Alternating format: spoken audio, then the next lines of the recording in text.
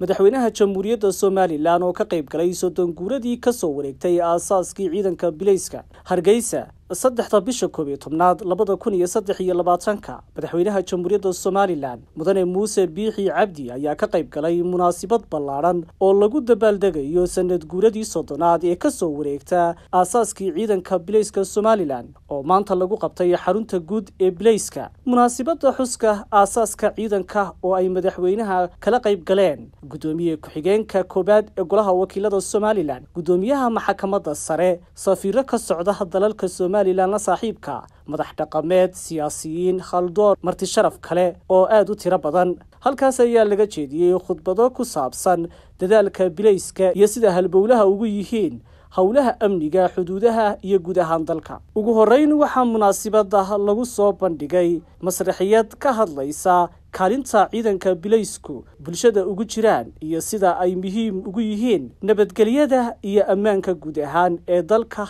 iyo xuduudaha. Hoggaanka howlgelinta ciidanka bilayska sarreeye guud ibraahim cabdi xaaji maxamuud ayaa ka warbixiyey dembiyadii kala duwanaa ciidanka bilayska u qabsoomay sanadkan sii dhammaanaya ee labada kun iyo saddex iyo labaatankii sida xilkasnimada leh ay uga soo dhalaaleen waajibaadka saaran iyo sida ay ugu hagar baxeen ilaalinta amniga iyo badqabka muwaadiniinta reer somalilan. Taliyaha ciidanka bilayska jamhuuriyadda somalilan sarreeye gaas maxamed aadan saqadhi ayaa ugu horeyn khambalyo iyo bogaadin u diray dhammaan ciidamada bilayska jamhuuriyadda somalilan waxaana ugu khambaliyeeyey gudashada waajibaadka amni ee saaran iyo sida ay heeganka ugu yihiin nafta iyo hantida muwaadiniinta wasiirka wasaaradda arrimaha gudaha mudane maxamed kaahin axmed oo munaasibadda hadal kooban ka jeediyey ayaa ciidamada bilayska jamhuuriyadda somalilan ku bogaadiyey ilaalinta amniga xuduudaha dalka iyo nafuridda ay u samaynayaan bulshadooda.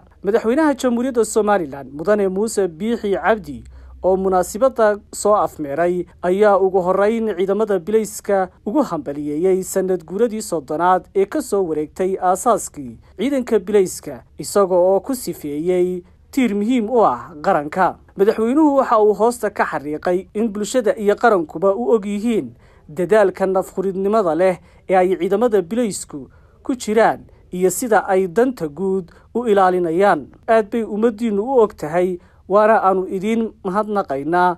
Qarankuna waa idiin og yahay. Tamari waxay idinka reebta mooyaane waxba laydinkala hadhi maayo. Waana laydiin garab taagan yahay ayuu yidhi madaxweyne muuse biixi cabdi.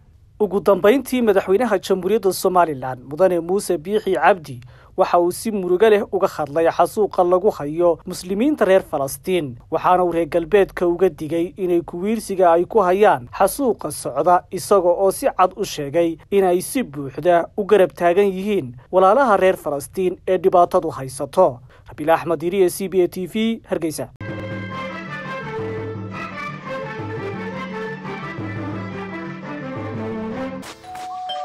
Maasha allah soo dhowaada la jaanqaad shirkadda telesom.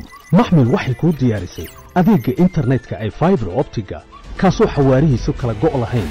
Waa guji waa ishaa biligteeda. Intuu soo gudlanayo hadalba gam.